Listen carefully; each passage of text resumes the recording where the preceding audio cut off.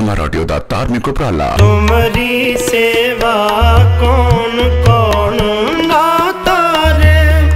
दर्शन मांग दे प्यारे। दर्शन